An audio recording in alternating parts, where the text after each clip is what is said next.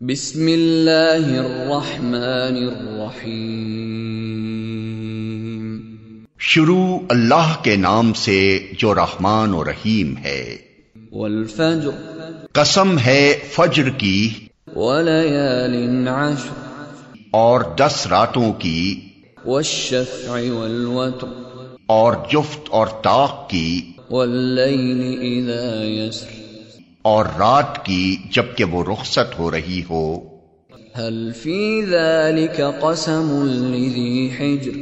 کیا اس میں کسی صاحب عقل کے لیے کوئی قسم ہے؟ ألم تر كيف فعل ربك بعاد؟ إرم ذات العماد۔ تم نے دیکھا نہیں کہ تمہارے رب نے کیا برتاؤ کیا اونچے ستونوں والے آد ارم کے ساتھ۔ التي لم يخلق مثلها في البلاد۔ جن کے مانند کوئی قوم دنیا کے ملکوں میں پیدا نہیں کی گئی تھی۔ وثمود الذين جابوا الصخر بالواد۔ اور سمود کے ساتھ جنہوں نے وادی میں چٹانیں تراشی تھیں۔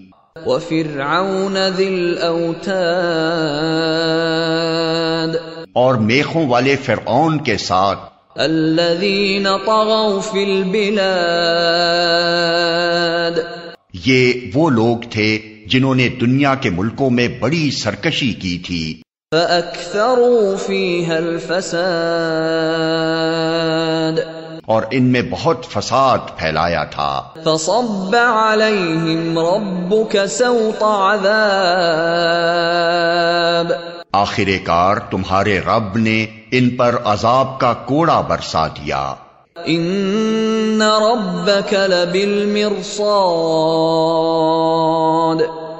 حقیقت یہ ہے کہ تمہارا رب گھات لگائے ہوئے ہے۔ فأما الإنسان إذا ما ابتلاه ربه فأكرمه ونعمه فيقول ربي أكرمن.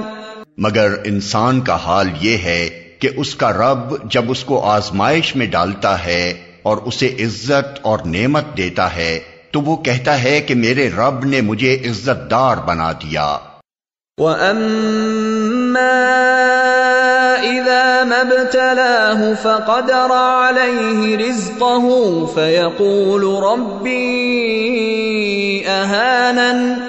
اور جب وہ اس کو آزمائش میں ڈالتا ہے اور اس کا رزق اس پر تنگ کر دیتا ہے تو وہ کہتا ہے میرے رب نے مجھے ذلیل کر دیا۔ كَلَّا بَل لَّا تُكْرِمُونَ الْيَتِيمَ ہرگز نہیں بلکہ تم یتیم سے عزت کا سلوک نہیں کرتے۔ ولا تحاضون على طعام المسكين۔ اور مسکین کو کھانا کھلانے پر ایک دوسرے کو نہیں اکساتے۔ وتأكلون التراث أكلا لما۔ اور میراث کا سارا مال سمیٹ کر کھا جاتے ہو۔ وتحبون المال حبا جما۔ اور مال کی محبت میں بری طرح گرفتار ہو۔ كلا إذا دكت الأرض دكا دكا ہرگز نہیں جب زمین پے در پے کوٹ کوٹ کر ریگزار بنا دی جائے گی۔ وجاء ربك والملك صفا صفا اور تمہارا رب جلوہ فرما ہوگا اس حال میں کہ فرشتے صف در صف کھڑے ہوں گے۔ وجيء يومئذ بجهنم اور جہنم اس روز سامنے لے آئی جائے گی۔ يومئذ يتذكر الإنسان وأنى له الذكرى. اس دن انسان کو سمجھ آئے گی اور اس وقت اس کے سمجھنے کا کیا حاصل؟ يقول يا ليتني قدمت لحياتي. وہ کہے گا کہ کاش میں نے اپنی اس زندگی کے لیے کچھ پیشگی سامان کیا ہوتا۔ فَيَوْمَئِذٍ لَا يُعَذِّبُ عَذَابَهُ أَحَدٌ پھر اس دن اللہ جو عذاب دے گا ویسا عذاب دینے والا کوئی نہیں۔ وَلَا يُوثِقُ وَثَاقَهُ أَحَدٌ اور اللہ جیسا باندھے گا ویسا باندھنے والا کوئی نہیں۔ يا النفس المطمئنة. ارجعي إلى ربك راضية مرضية.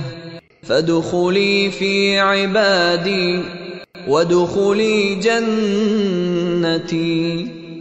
دوسری طرف ارشاد ہوگا اے نفس مطمئن چل اپنے رب کی طرف اس حال میں کہ تو اپنے انجام نیک سے خوش اور اپنے رب کے نزدیک پسندیدہ ہے۔ شامل ہو جا میرے نیک بندوں میں اور داخل ہو جا میری جنت میں۔